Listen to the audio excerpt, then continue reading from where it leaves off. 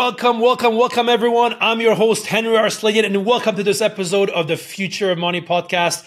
Before we start, I want to say a big thank you to the half million of you who follow my content each week. This, pos- this podcast, The Future of Money, is now ranked in the top 5% of all podcasts globally on Spotify. Thousands of you from over 160 countries are tuning in each week. So massive thank you for all your support.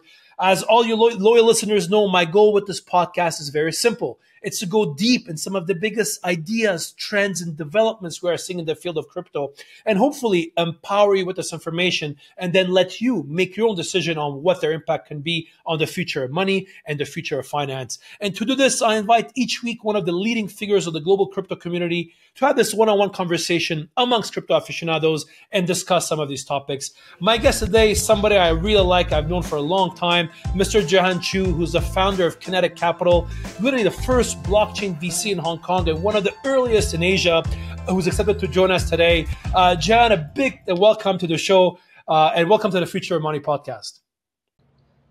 Thanks so much for having me, Henri. Great to be here. Excited to uh, always. One thing, by the way, people may not know about Jehan. By the way, is he started Arts World. Uh, you know, and initially started with Sotheby's. So again, a big correlation there. We'll talk about NFTs as well uh, from from that perspective and talk all about it as well. Uh, Jehan, as we kick off, um, can you maybe before we talk about the show, can you maybe share a bit more about yourself, Kenetic, uh, but also about your personal background, which is super exciting.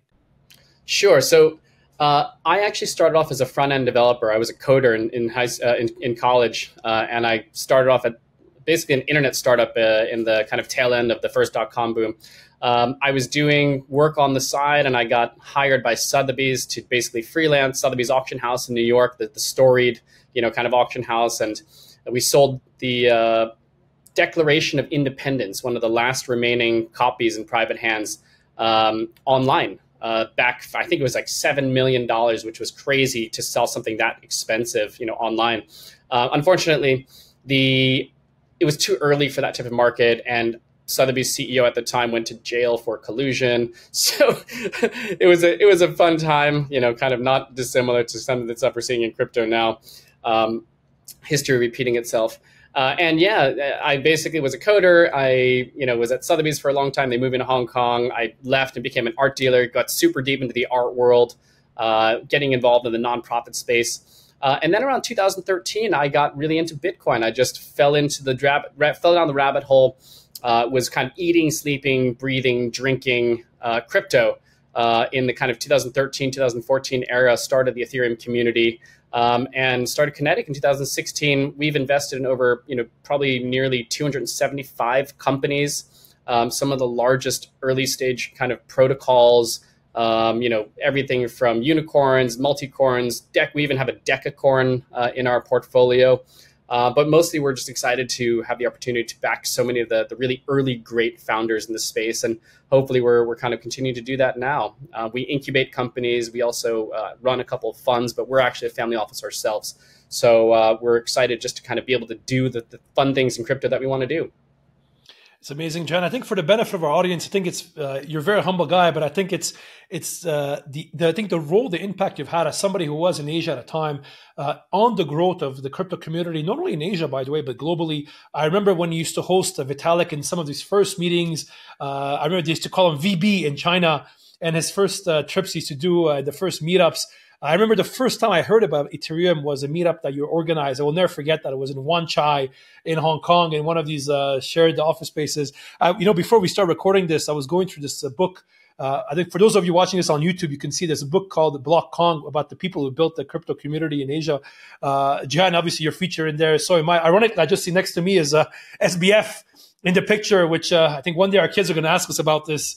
Uh, but uh, I think, John, you really, I think, thank you for all the contribution you've done uh, to the crypto community. I have to even personally, I still remember when I when I was able to make crypto as a profession was in part uh, due to you. So uh, I think you played a big role in many people's lives uh, over the years. Uh, so John, there's a couple of things I want to talk about. You know, this this episode is part of our investor series. So uh, where we had uh, we, we, had on the show crypto hedge fund managers. you know how people are looking at investing. And this episode, I really want to focus on um, VC investing, equity investing, and also some tokens as well. and maybe the idea is like share with our audience uh, you know, uh, what are the things you're looking for, right? And I want to kick it off actually with that with that with that topic because obviously we're in a bear market, depending how you look at it, um, and you guys have been continuing to invest uh, in this bear market. What is you think the what are the opportunities as a VC investor? in a bear market? And do you believe, like what other VCs are saying, that 2023 may be the best vintage that we may see in, in many years? Yeah, it, it's an important question uh, because you know your perspective can change when money is everywhere and you know kind of everything seems like up and to the right. Uh, and you know, in the past year or so, when things feel like there's maybe no hope, maybe no future for crypto, and and everything seems you know just helpless or hopeless a little bit. Um, it's really those times, and, and you know, this I'm not the first or last person to say this. That's really where I think VCs are, are really tested because when there's no money, when there's no excitement, when everything seems you know difficult, you really have to stick by your first principles in terms of investing and, and what you really believe um, to be true about the space. And I think that's really what separates a lot of the long-term blockchain and crypto investors uh, from the ones who are coming in. Because when you've held these kind of values about decentralization, uh, about the kind of value of blockchain and the types of benefits that it, it can uh, you know kind of add to technology to society to uh, you know government and to finance. When you've gone through a couple of you know down cycles where your core beliefs are both tested and reaffirmed over time and over cycles that's really where i think um, you know the, the almost like the, the lighthouse that, that kind of leads us through these storms so I would say, what do we look for? Uh, we look for the same types of things that we look for from the very beginning. Obviously, strong team. Uh, obviously, a an area where we believe that the technology of blockchain, whether it's crypto or non-crypto, uh, whether it's fully decentralized or even permissioned or semi-decentralized, where it actually adds value, where you're providing a service which is better than the service that came before it, that people will pay for. And that's the real operative, I think, difference going from cycle to cycle. Um, three cycles in, there's no more hiding behind, well, eventually. There has to be, this provides value now, and so and so will pay money for this. There's no more hand waving. There's no more kind of obfuscation about, you know, kind of token economics. There must be results, there must be value, and it must be something people customers can both understand and are willing to pay for. And I think that's what really um, the the kind of difference between how we used to invest in 2017, uh, 2020, uh, and now. There's so much more uh, emphasis on uh, real world utility, real world value. So actually, on this point, so you mentioned real world utility, real uh, world value. In what verticals of VC investing are you seeing these real world utility and value uh, when you look at the landscape right now? I have to say, it unfortunately it's not as in, in as many places I would have liked. Um, I think you know what are we like 13 years out um, from you know since the creation of kind of Bitcoin. I would have hoped that we would have seen a lot more real world use cases, but I think that the areas that are undeniably making a, an, a short term and long term impact are digital assets. Uh, digital assets meaning NFTs, uh, and I don't mean you know the the kind of PFP projects that you know kind of and hype cycles and all this kind of stuff. I mean things that actually uh, retail users like Starbucks, like Nike, like LVMH are not only experimenting with, but doubling down and expanding the scope uh, and extent of how they're actually using these technologies. Everything from loyalty um, to gamification to experiential uh, to digital and physical twins. They're really pushing uh, the, the boundaries of what mainstream can accept and that's where I think it's very different. The last couple of years before this, it was mostly just crypto people talking to crypto people doing crypto things, which is great, but it's a small market. The real difference is that you have the world's largest companies who are putting a stake in the ground and saying, we think that this has potential and we're going to develop that potential because we think it adds to our bottom line. It's no more, well, this is a POC, this is a marketing thing. It's actually fundamental type of future proofing their business, whether it's digital uh, kind of assets, digital goods, digital wearables, or ways to increase and improve the relationship with their customers. That's super exciting. So when you mention about NFTs here, right? Actually, uh, in parentheses, I just remember you organized. This was I don't know what year, but one of the first NFT conferences. I remember used to call Nifties at a time. Yeah, uh, it was 2018. I, here we go. I, I, don't know when the name changed from Nifties to NFTs, but uh, yeah, I mean that was to be honest, that was the first NFT conference in the world. Uh, it was myself and uh, Ari Meilich, who is the founder of Decentraland, and it came about. I, I, literally, it was 2 a.m. I had just read an article. I was going to sleep. I read an article about Decentraland and something, uh, and I was like, Ari, because we're investors in Decentraland, why is there an NFT conference? And he said, let's do it. He didn't even hesitate. He said, let's do it. And so we did it. Uh, that was that was. I think we had 800 people came, and it was you know Animoca and Super Rare and OpenSea, everybody came. It's, it was a fundamental thing. Uh, and Nifty uh, was the name of the conference, but the name of the asset was always NFT. So it was just a play on words. I remember that it was uh, again. I think when you're saying that the, the, the outsized role you played, uh, Jan, on that perspective, so coming on, on the topic of NFTs. Right, obviously there's been the whole hoopla hoopla of you know from uh, PFPs to other NFTs that have been happening over the last uh, couple of years. So obviously you mentioned that you're looking at cases where there's digital assets can play a real role for real companies, right? How do you look at it? Like, what is you think the next step when we look at NFTs? Is it companies using NFTs as part of day to day activities? Or do you believe, again, especially coming from your arts background, the artistic element will always play a role in the development of NFTs? I think NFTs really need to be thought of not as a piece of content, but as a capsule. It needs to be thought of as a container. Uh, it's basically a code based container that you can put anything into.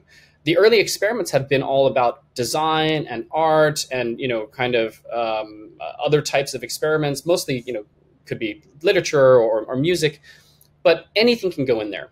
And it's in the future, I think that NFTs and these digital containers will contain everything from financial data to user data. We invested in a company called Snickerdoodle, which is using NFTs for user data to replace cookies.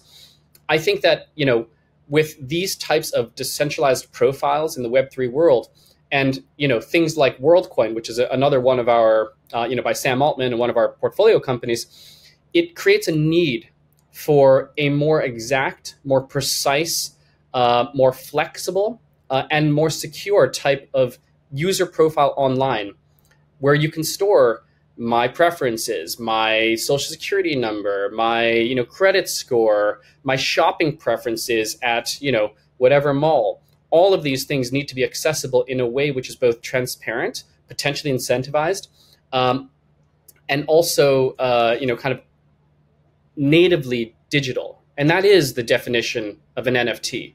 So I think that this is just the first you know appetizer, you know, kind of these these JPEG NFTs. The real game and the real you know kind of battleground will be how industrial and enterprise and finance will use NFTs to create very flexible, very on chain, very dynamic, even AI driven uh, and incentivized models for how to access data, whether it's you know from your company, whether it's from your personal or anything. That is actually the data landscape of the future. It's actually all NFTs. You just mentioned uh, WorldCoin. I cannot, I cannot uh, not ask you a question about it. Obviously, from what you mentioned, you, are an investor in WorldCoin. What is your view on it? Obviously, since it launched a couple of weeks ago, there was a lot of negative criticism from countries taking certain action to a lot of privacy concerns. By the way, not only uh, inside the crypto community, but uh, also outside as well. As an investor and as somebody who sees the big picture, what is your view on it, on WorldCoin, and the imp- impact it can have on the development of Web3? I think WorldCoin is probably one of the most um, important kind of innovations in you know the recent history of blockchain. Um, and I think it's actually also true for AI. We cannot underestimate how important what WorldCoin is doing is. Now, I'm not saying that it's the end all be all silver bullet solution, but it absolutely is a starting gun to the next phase, the next generation of technology. The reason why I say this is, and, and the analogy I would give is, is basically like, you know, the, the automobile versus, you know, the horse and buggy. It was dangerous. People didn't understand why we needed it. Um, there were no rules. Uh, but as obviously we've seen in the past hundred years, automotive transportation has completely transformed the fabric of society. It's basically been literally an engine for growth and a, uh, the, the ability to actually connect an entire continent um, and infrastructure and enabled you know kind of development. That's what WorldCoin is basically. it is an engine and a platform and a foundation.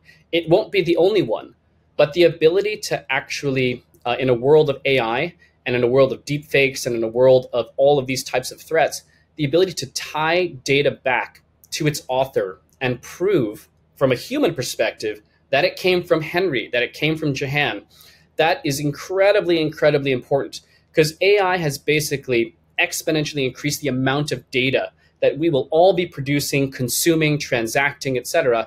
And we need to know where it comes from. And at the end of the day, we need to be able to prove that it's us, us flesh, you know, kind of blood and bones humans, us. It also is important for other things like, you know, well, it came from my organization. But WorldCoin and the concept behind it are the foundations for that type of next generation uh, attribution uh, and provable, verifiable data. It's truth in a little orb. And, and I, especially, I think, it, as you mentioned, the world of AI coming together, what hold this entire ecosystem of Web three, uh, it's going to be very interesting. I think uh, definitely, I agree with you. WorldCoin is going to be one of the big developments to watch over the next couple of months and years. Uh, it's funny, the, the horse example is the one I use a lot when I give my keynotes of all the criticism we had back in the day uh, in that perspective. Uh, Jen, I want to touch upon one thing you mentioned a couple of minutes ago on, on Decentraland, but also the broader metaverse ecosystems. Uh, as an investor, how do you, how do you look at metaverse ecosystems right now, uh, whether it's decentralized ones or centralized ones, and what do you think is the future landscape over the next couple of years of these metaverse ecosystems? Yeah, metaverse is a tough one. I think that we're still a bit early for for kind of true articulated metaverse, and we know this because there isn't a good one. Um, but I think that the the analogy for metaverse is similar to the analogy for generative AI. Generative AI was around for a long time, and it wasn't until you know OpenAI's latest you know version cracked the code in terms of uh, making it accessible and understandable to average people um, and useful to average people on a daily basis, like you can answer questions, that is when people really started to accelerate their usage. And I think that we're going to see the same thing with metaverse. It's probably not tomorrow, maybe not even next year, maybe not even the next like three to five years, but it's very clear that metaverse will find um, a its kind of you know product market fit, its killer use case, and its you know kind of role model example.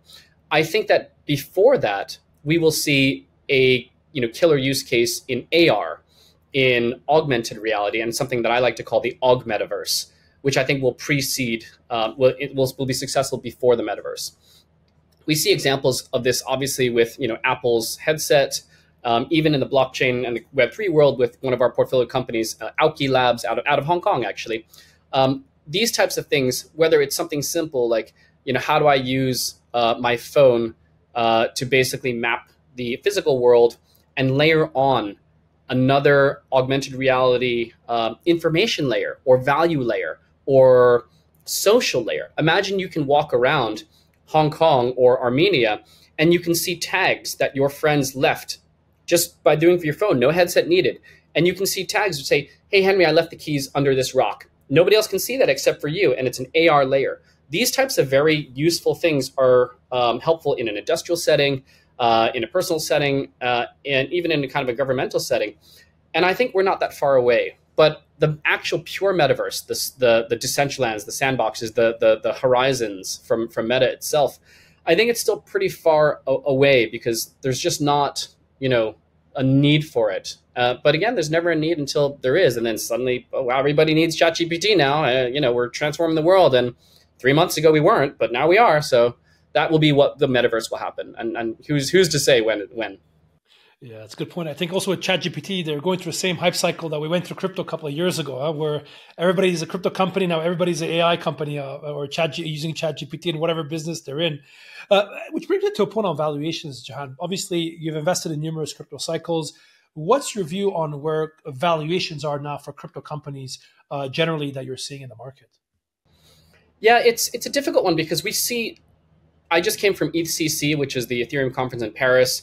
Um, we see rounds that are oversubscribed. People, you know, kind of beating at the door and you know, uh, scheming to get in, and we see companies that can't raise. Um, you know, great teams with strong ideas uh, who just aren't able to raise.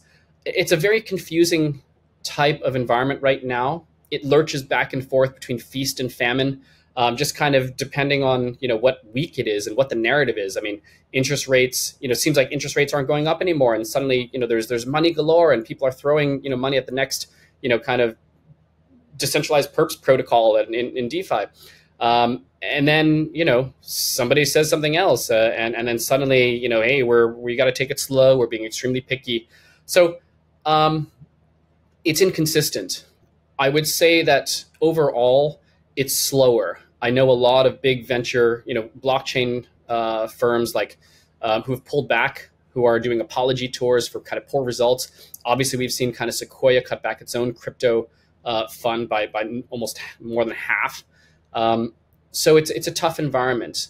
Uh, I think what we need is a new narrative uh, in blockchain and crypto, and I think that AI may be one of those narratives. Um, obviously, the ETF um, this the kind of eventual ETF is, is a new narrative. Um, I think that Elon may surprise us with something around Doge and X. Um, I think that provides you know a lot of fuel, but all of these are just kind of speculative types of you know mind share um, waves. Like what, like I said before, what we really need is real world utility, uh, real world, real world value, and you know regardless of whether it's blockchain or crypto or kind of permissioned ledgers, whatever, it needs to provide value and it needs to do it soon. What are the red flags? You mentioned obviously for some companies it's easier to raise, for others it's more difficult. If you had a piece of advice to give to entrepreneurs or pitching their business, what is the biggest mistake you see crypto entrepreneurs do when they're pitching their business to VCs? And second, what are the red flags you're looking for? Um, I think the the important thing for new founders, for first time founders, to to remember is, is that you have to be passionate, which is you know kind of a you have to be passionate and really believe in what you're doing. But I think especially now, you need to speak a language which um, understands the context of of where we are in the crypto market, which is there needs to be real value, and even if you as a founder don't think that you can get there in the first year, that's fine. Say it, acknowledge it. Let the investor know that you understand, you know, what is and what isn't. And we're not having any kind of hand wave, we're not having any kind of illusions about, you know, well, the tokenomics will catch up. Uh, they won't actually. Like there must be users, and those users must pay, and that's how business works. Um, it's very important for first-time founders and, and even you know second-time, third-time founders to go back to first principles and explain the value and the uh, kind of benefit of their application in those terms. Got to start from the beginning and draw the line all the way to the end. Who's going to pay for this and why, and why is it better than anything else? It can't be, you know, well because we're going to have network effect, which is going to, you know, kind of cause our token to go up. Like that's no longer acceptable. That's no longer fundable. Um, and you know, we want founders who can basically bridge the crypto world into the real world. Uh, and I think the more that a founder can express that they both understand and have a plan for where their market is going to be, who is going to be their customer, and how are they going to get there. Um, if they can articulate that, then I think they have a really strong uh, kind of chance, and it's it's literally a way to differentiate yourself from you know, the, the legions uh, of kind of crypto founders out there who are just you know kind of also rans and you know doing the next you know, kind of copycat DEX protocol or DEX aggregator or whatever, and it's it's just not interesting and not fundable. And where do you see the the global trend coming in? For example, you spend a lot of time in Asia. You're you're in uh, Puerto Rico right now. There's obviously, and you're in Paris uh, recently. I mean, there's a lot of activity you're seeing crypto markets globally.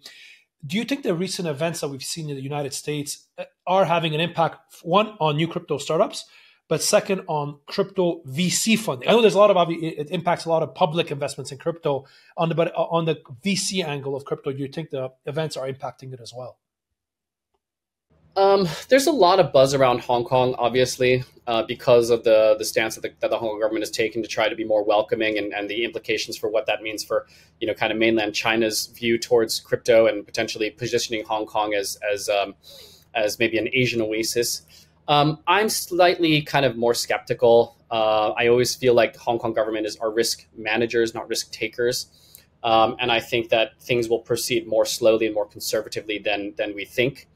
um, already I've seen you know kind of feedback from some of the banks that despite all the kind of hoopla, they're actually not really banking and not so eager to bank crypto companies yet, um, despite the Hong Kong government publicly you know kind of encouraging them to. Um, so what is said and what is done, I think, are two very different things, um, and we'll know within, I would say, six months is a reasonable time to expect actual change and actual results. Um, and if not within that period, then we should expect kind of nothing more than what we had before, which is uh, a, lot of talk and, and very little meaningful uh, kind of haven for kind of crypto as a business and, and really just kind of more institutional, um, you kind of go around. Um, so yeah, I think that's kind of you know what what we can expect. Middle East is super exciting. There's money there. There's excitement. I think there's a real um, existential understanding of what digital asset trade and market will be and how important it is for uh, an economy and a region which must change its kind of um, you know revenue base from you know fossil fuels to you know digital oil uh, in a sense, which is data, which is AI, which is crypto, and, and underpinned by crypto. So I'm excited about Middle East. Um, I think Europe is starting to wake up. Maybe just because I was there, uh, you know, it's a and it's summer, but but I feel like Europe is starting to wake up. Um, there seems to be more sensible regulation. There seems to be an, an, an interest in, you know, where a lot of European companies like French, uh, English, and, and, you know, kind of Eastern European blockchain companies who are, who are doing pretty exciting things. So I'm excited for that too. I think LATAM is probably a little bit of, you know, a, dis, a, a, disappointment in terms of I thought you know in a few years ago it would be a bigger player by now, but it hasn't been. I think Africa is still very very far behind. Um, and then the U.S. is, is the big question, right? It's it's the 800 pound gorilla who can't decide where they want to sit. Um, you know, they we'll just have to see what the next administration brings. Um, so yeah, my money is on the Middle East um, as the actual kind of you know driver, uh, and then pockets of Asia. I do think that China, ironically, will be, you know, as always, I've said this before, and you, you know, I'm a big fan of the BSN and what's happening with China's one of China's national blockchain infrastructure protocols. I, I think that they're going to be a driver of non-crypto and the whole narrative of non-crypto blockchain ecosystems um, will be as big, if not bigger, than cryptocurrency powered blockchain ecosystems because I think that most altcoins go away and what we're left with there's CBDCs, stablecoins, real world asset tokens, security tokens, uh, and NFTs. Uh, and a lot of the governance, gas tokens, altcoins will probably fade away for, for lack of actual use and actual demand. Um, and so I, I, think that's where China, you know, does have a role to play um, in a non-cryptocurrency environment.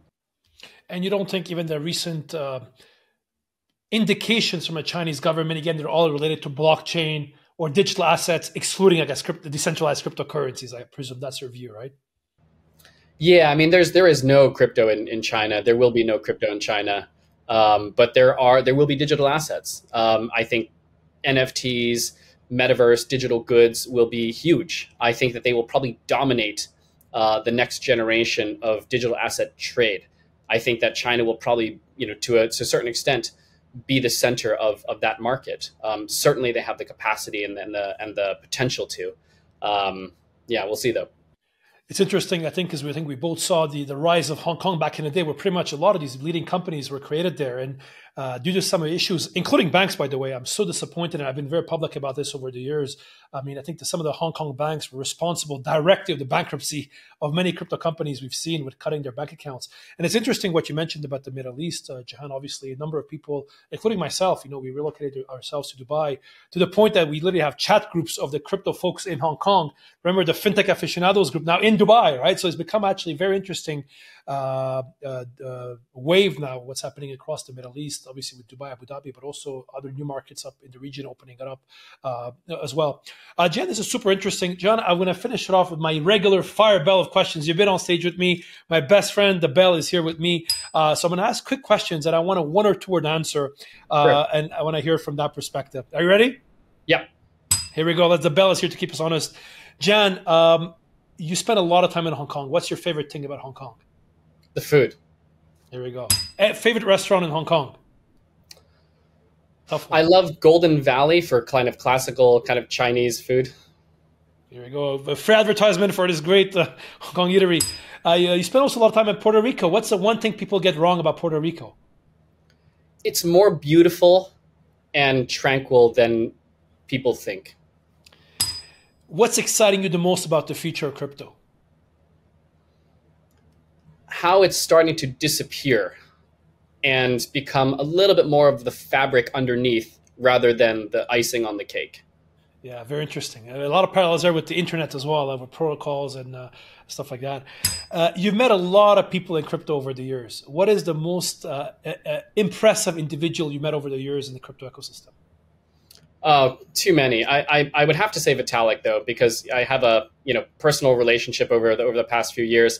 Um, I, I think that it's there are very f- few p- opportunities in life to meet someone who is so evolved and has such integrity and brilliance all at the same time. Um, especially one who has so much you know potential. It, it's really like we're looking at not even the next Elon. We're, we're looking at something e- even more mythical in a way. Yeah, I have to say, I still remember those early gatherings uh, you used to organize with him. If They you were a betting man, exactly. If you're a betting man, Jehan, uh, who do you think is Satoshi? A man, a woman, and or, or whatever? And where where is he or she from? Uh, I, I'm pretty sure it's a collective. I don't have any additional information, but I think it's probably a collective of, I would say it's maybe four to six people. I think beyond that, it would be hard to keep it, um, you know, as much of a secret as, as it has been. I think they're quite international. Definitely some, you know, kind of, um, I would say there's at least one American in there, but actually surprisingly, probably more international than we think. Unfortunately, there's probably not any women in it, which I, I think is a shame. But hey, maybe Satoshi oh. 2.0. Uh, Jehan, uh, Elon Musk gives you a call and says, "What's the advice you have for him for X and what he can do with the platform?" What's your one piece of advice for Elon? Do good. Uh, you've met many NFT artists over the years. What is your favorite NFT artist, and what is your favorite traditional art artist? I I represent a few artists in the NFT space, so I, so as not to exclude any of them because I love all of them. Uh, I would say Beeple in no particular order: Beeple, Refik, Josh Davis, Ash Thorpe, Craig Mullins. They're all impressive and um, important pieces of history to collect. What about traditional art? Your favorite from your background of Sotheby's. What is your favorite traditional, non-crypto, and non-NFT artist? My favorite painter is a Hong Kong painter named Chris Huen, H U E N. I've been collecting his work forever, uh, since his graduate show. Um, he's incredible, poetic, um, kind of infinitely viewable. You can just keep watching it forever. Um, and then, otherwise, out of that side of that, there's a Japanese artist named Shinro Otake, uh, who is incredible and historical and, and very, very uh, impressive. So, Jehan Chu, the founder of Kenetic Capital. Jehan, the traditional question on the Future of Money podcast. If you could have lunch or dinner with one person, dead or alive, lunch or dinner with one person, dead or alive, who do you, who do you have lunch or dinner with? My dad. what a good answer. Jehan, it was great to have you on the show. John, if people want to find out more about you, get in touch, how what's the best way? Or follow your work? You can find me on, on Twitter at, at collectionist, C O L L E C T I O N I S T, on LinkedIn. Uh, you can also find me on uh, Twitter at Jehan Chu, first name, last name, but that just points to collectionist. Here we go. So, Jehan, thank you very much, everybody. I hope this was an insightful show on talking about the VC angle, also bring the Asia angle, the NFTs. We touched a lot of topics.